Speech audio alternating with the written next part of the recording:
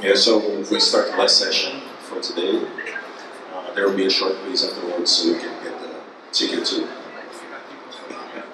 no, that's, that's uh, so Vinicius is going to present uh, wireless body area networks transmission schedule based on body. I'm Vinicius. I'm a PhD student here in the Institute of Computing, and uh, this is the research of my master uh, PhD thesis. And uh, I'm going to present to you what is wireless body area networks. I'm going to introduce this theme, and then I'm going to talk about what are the challenges in these types of networks, the proposed solution to solve those challenges of communication, and the preliminary evaluation that we did. Then we are going to conclude and talk about our future works. WBANs started as a hot topic of research after the IEEE uh, have uh, made a standard 802.15.6 that is specific for this type of network. It is a standard that uh, talks about the communication between implantable, wearable, or devices surrounding the human body, and it's not restricted to humans. The devices in these networks can be sensors that gather and send physiological data, or actuators that act upon a command. It also has a hub that is a device that gathers this sensor data and, that, and sends commands to the actuators and works as a network controller for this network. Here you can see the topology of WBANs. The first case here, it's the topology that initially was proposed by IEEE, uh, single hop star network. But after the initial tests, uh, just a few meters could be uh, harmful for the communication. So they also put a two star, uh, an extended topology with two stars up. Since you have the implantable, wearable, and human body surrounding devices, you have different scenarios. The scenario that we call on-body for the wearables, the scenario in-body for the implantable devices, and off-body for the devices that are not in the human body. And here we can see the most uh, diverse types of devices that can be in the human body. The insulin injection, uh, blood pump, ECG, ER, uh, an artificial knee. You can have a lot of types of devices in this network, so it makes a very heterogeneous scenario. All these diversity of scenarios are also increased in, in difficulties of communication by the body posture changes and body mobility. This makes the wireless channel characterization hard to do. So far, until now, we don't have a propagation model that can fully represent all, the, all those uh, WBAN scenarios. Just to illustrate, I'm going to show you the same link in three different activities. In the first one, the person is standing. And the second one, the person is running. And in the third one, the, uh, the second one, the person, the subject, is walking. And in the third one, it's running, he's running. And this is the different uh, wireless channel response that you get from these different activities. So it's very variable scenarios that you have in maybe in the same link you, you can change the characteristics of the wireless channel just by changing the postures and movements. So you have these changes of posture and movements of the body, you have uh, the wireless channel characteristics, and if you are going to communicate under this scenario, you have to make a tailored uh, solution to comprise the different kinds of wireless channel response that you can get in different mobility scenarios. And this is what we thought when we proposed our solution.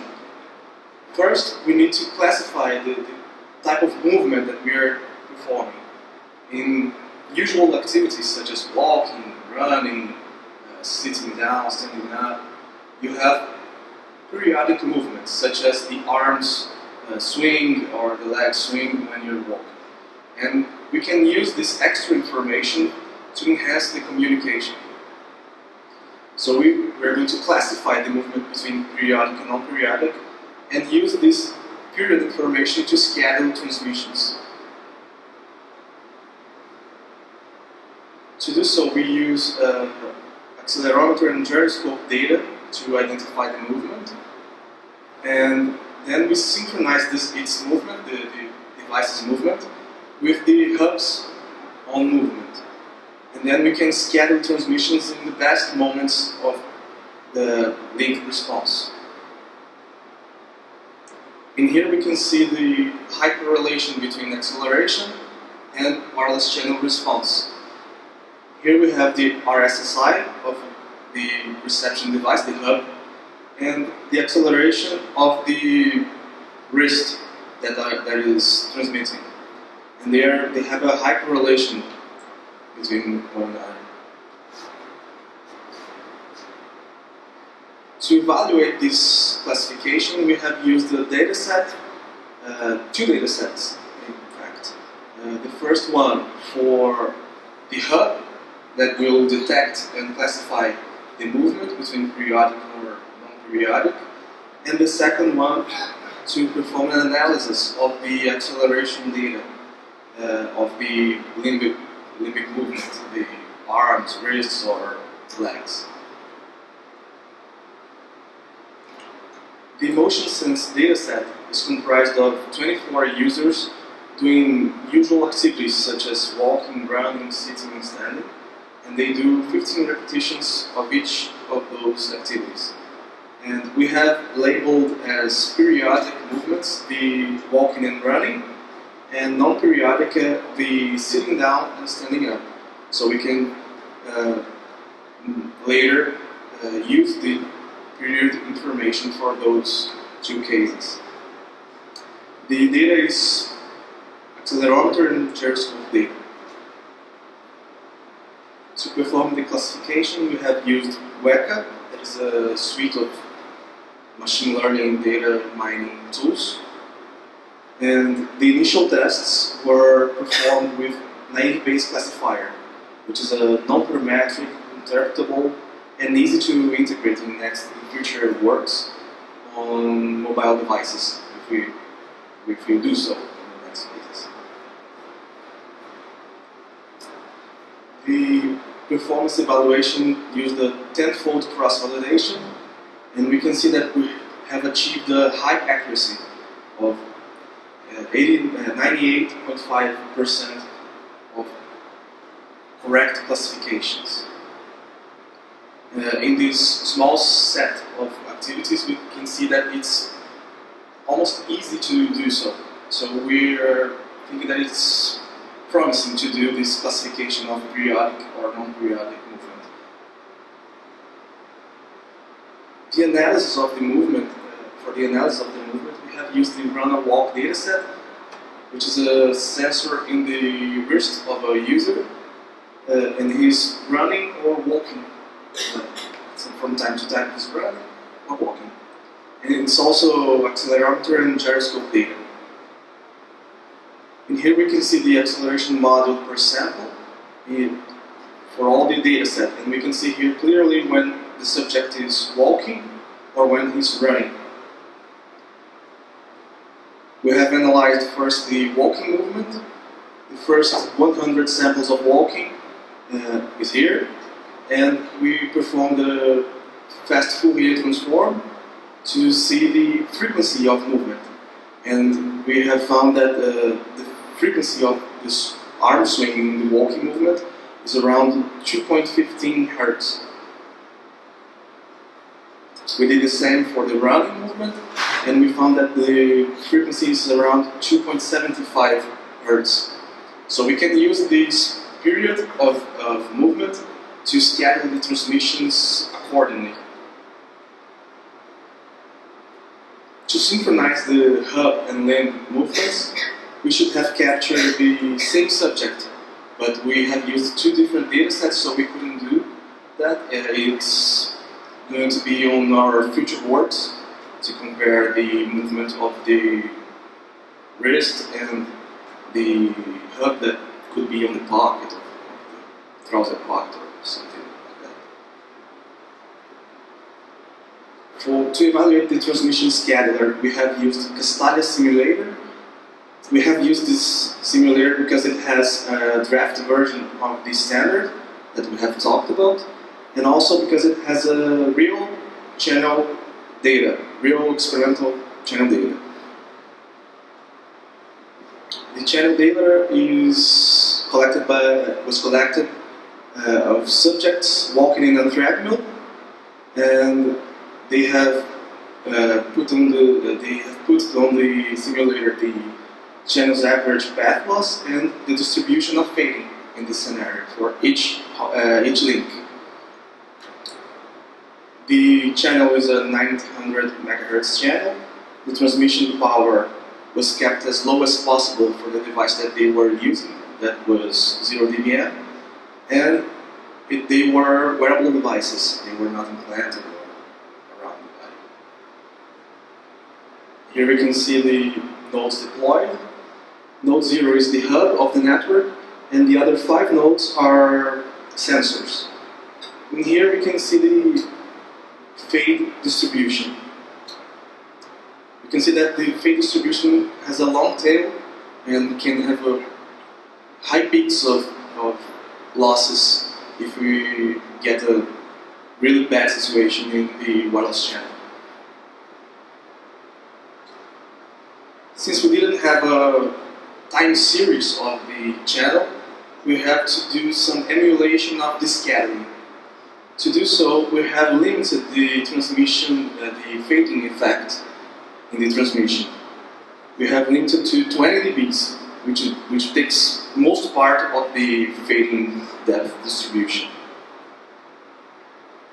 And we have compared these results with polling and random access of CSMA/CA, which are both also included in the standard. The simulation scenario, we have used the narrowband physical layer that is the draft version. And the maximum transmission rate for this scenario, one packet per second and 100 byte payload per packet, which is, which is kind of a small sensor like a temperature sensor or something like that, not a time series sensor like an EEG or an ECG. The transmission power was kept as low as possible and to minus 25 dBm in the simulator. The simulation time was 100 seconds. We have performed 20 simulation, simulations runs, simulation runs, and the results are averages and 95% confidence interval. Here we can see the packet delivery rate per node, and it's easy to see that the worse nodes, the worst nodes in transmitting uh, power or, or, or the worst channels, they had increased the PDR heavily. In the node 3, we, we see that the proposal is the green one. We, had, we have achieved around 80% of PDR, while the other methods were under 65% of delivery rate. Also in node 5, there is also a bad node to transmit. Uh, we have a gain of over 10% if we compare to polling. The energy consumption is also enhanced.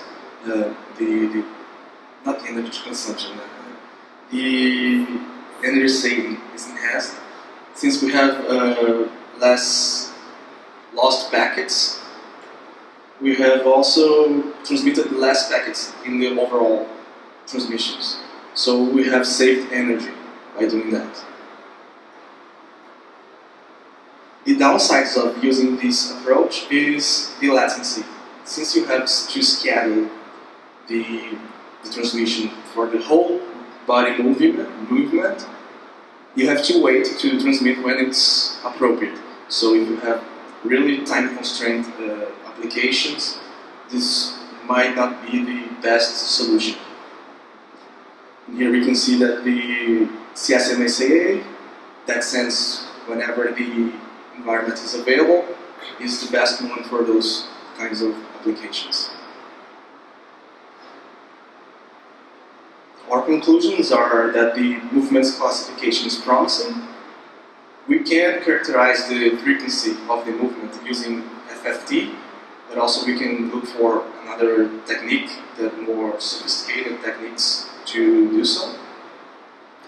The transmission scheduling enhance packet delivery ratio, also enhance the, the energy savings, but it can increase latency.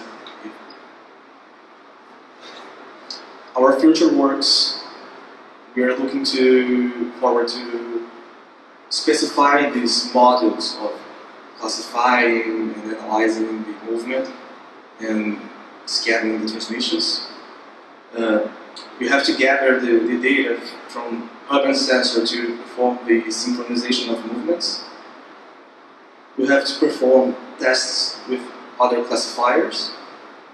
We have to look for techniques to analyze the signal and check the scheduler performance in different scenarios where you have uh, different types of movements, the periodic ones and non-periodic ones.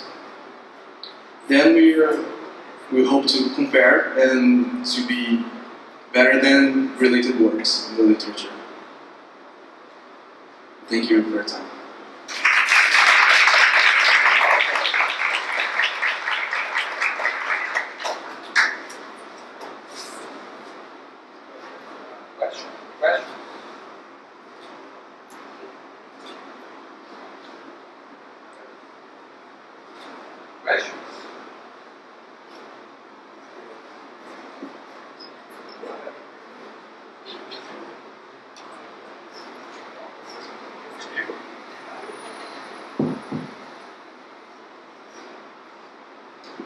Thank you for your presentation, Vinicius. Uh, I have some questions about the machine learning algorithm that you use. You said you're using specifically the Bayesian models. So there's a specific reason why you haven't choose or tested all the models, or you have tested all the models, and why particularly you, you choose L1. And another question is if you did some treatments about the data set, because like on the perspective, you, you should have more like non-periodic or more periodic than non-periodic. So you did some, try to compensate some something on your data set on that perspective. I'd like to hear how you. Uh, no, we didn't perform the tests with other classifiers. First, we started with the simple, the simplest one, the non-parametric, that we could interpret the results because one of the problems that I see when I use machine learning is that we can't understand why the, the results are doing good or bad, and using a Bayesian one, we can assume some some part of that to the probabilities and the, the statistical variability of the of the data. And the second one, uh, the second question is about the dataset distribution, and we didn't perform any kind of uh, uh, pre-processing in the dataset. We have used the dataset as it is, and we have just gathered the data and used it. But we look forward to to use a more realistic scenario where we have a distribution of activities uh, more alike as a person's real day to day. Amen. If anybody else has one question, I'll, I'll. So I'm, I'm more interested in the telecommunications aspect, of course, and it, seems to be when, when you have uh, sensors to the body, that, that you would, then the one that, that has, uh, for example, five would be uh, a fixed uh, distance from, from your hub, right? And it wouldn't, it wouldn't be swinging like your arms or legs. And so you would have a better result on it. And if you could use that to schedule transmissions on the off time of the others, you might have a better result than scheduling everybody for the same time slot. That this is the what we talked in the, last part, the conclusions of using um, different uh, scenarios where you can mix uh, non non-periodic and periodic uh, devices in the same network. We haven't done so so far. Uh, we have just scheduled the periodic ones and evaluated them. But if we mix them together, we can do what you told that uh, use the periodic movement and in the gaps of the, these periods transmit the non-periodic ones. I, I think that, that so if you're measuring things from your hub, you, you have the hub's view of what the user is doing, right? And not the view of the sensor. So the sensor may be swinging. So you, you may be sitting down and your, your sensor is swinging around. Is to measure from the sensor. Yes, not yes. the- Okay, so then you, you have different uh, Different sensors. One in the hub to, to inform the, the classification of periodic or non-periodic based on the activity, and another one to analyze the movement. It comes from each devices on the on the limbs.